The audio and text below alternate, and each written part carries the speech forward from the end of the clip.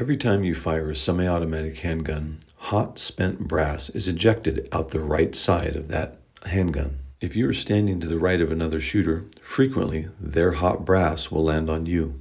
If the hot brass lands on your bare skin, like on your unexposed arm or on your neck at your collar, simply flick it off. It's not so hot that it's going to burn you badly, it's just shocking. If hot brass goes down your shirt, keep your gun pointed in a safe direction, take your support hand, pin the brass up against your body, grab it with your shirt, and then release it down to the ground. It'll only be hot for a second or two. What you don't want to do is overreact and point your muzzle in an unsafe direction. Doing the hot brass boogie will only cause you to take a potentially uncomfortable situation and turn it into a very dangerous and possibly lethal situation. Expect a little hot brass to be thrown in your direction and don't overreact.